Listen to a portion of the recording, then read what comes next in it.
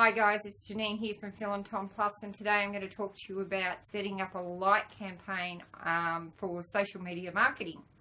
Now, a lot of you obviously would be familiar with Facebook and Facebook advertising. And one of the pitfalls that uh, people fall into, doesn't really matter what they're trying to advertise on Facebook, is they go in and they advertise too early. Uh, now, Facebook are quite happy to take your money if you want to put up an ad. Um, and they do, they're a fantastic software tool uh, to use to target your market um, once you get used to it. But the first thing you should do is obviously you would need a fan page, uh, set up a fan page within your Facebook. Uh, but then what you need to do is you need to run what they call a like campaign.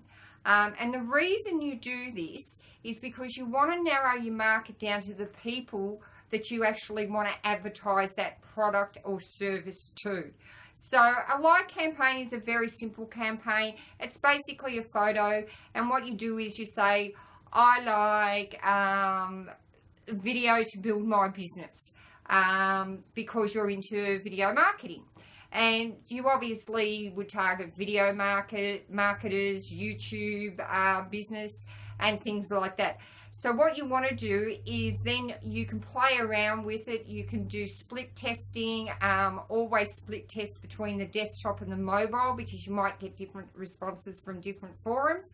Um, and what you do is you build up your like campaign so you get a following on your fan page. And what you will do is hopefully, therefore, you will get interaction.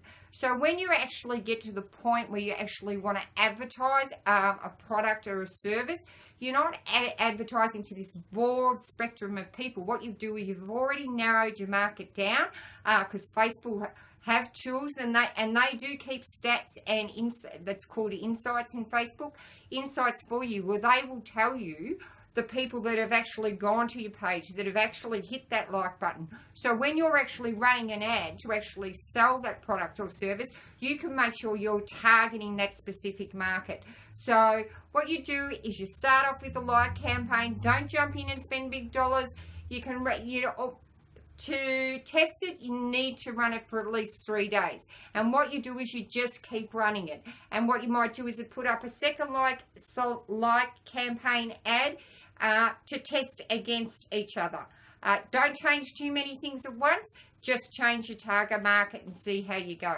Hope you got something out of that. Um, Thomas has just held up a very rude sign. He's supposed to be holding up my clothes. And it's just, okay. Thank you very much, Tom.